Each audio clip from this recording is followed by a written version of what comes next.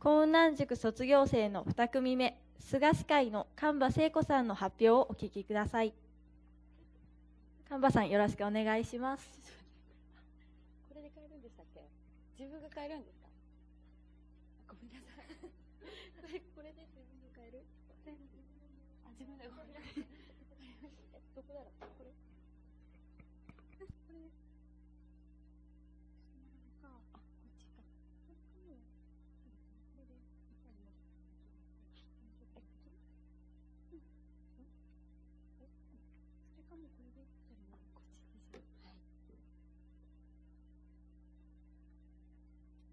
ませんでした。えっと、神場聖子です。よろしくお願いします。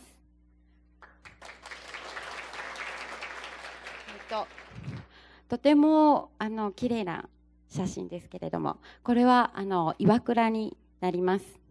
夫婦岩という岩倉です。日本初宮と言われる菅神社の奥宮になります。そしてこれが日本初宮と言われる菅神社です。この菅神社は雲南市大東町菅という地域にあります。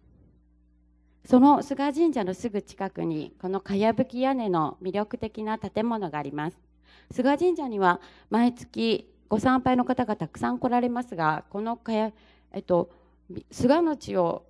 こう魅力を伝えるような場所がなかったんですね。それでこんな素敵な建物がありますし何か菅の魅力を発信できないかなと思って幸運南塾の3期生として参加しました。この参加をきっかけに集まった10人の仲間で菅氏くいというあの市民団体を立ち上げました。この菅氏くいっていうのはスサノオノミコト様が菅の地に来られて我が心すがすがしと言われたので菅氏でで怖いっていうのは貝の出雲弁です。で、御霊喜ぶにぎわいづくりという言葉を指針に菅氏加えで今活動しています。御霊喜ぶにぎわいづくりというのは来られた方、地元の方、そして何より自分たちが心から楽しめるようなにぎわいづくりをしていこうねと言って活動しています。この神楽の宿は音、踊り、癒しそれをテーマにいろいろなことをしています。神楽を幼稚園生に伝承するような活動やヨガアロマ民族ダンスをみんなでするような活動などワークショップなどをしています。そして太鼓や弾き語りの方民族音楽の方に来ていただいて音楽会を開催したり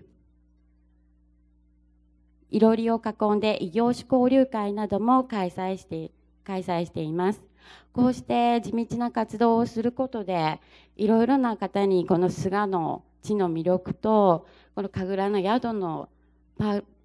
力魅力を伝えたりあとはあの異業種交流会などしているので他の地域で活動されている地域で活動されている方たちとたくさんつながりを持つことができています。先日菅氏会で初となる大きなイベント「音あり月の夜」というイベントを開催しました。たくさんの出演者と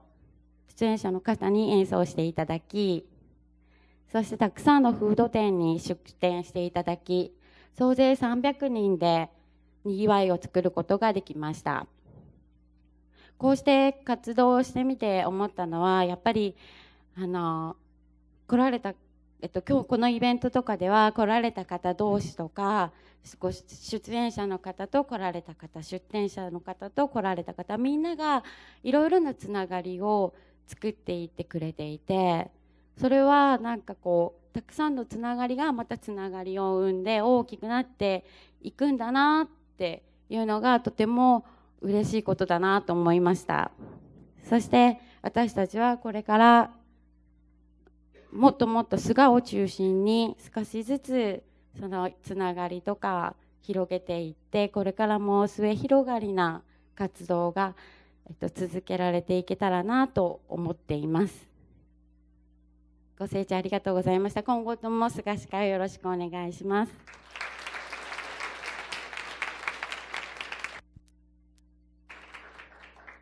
ありがとうございました。菅氏会がこの今後どのような活動をしていくのかとても楽しみですね。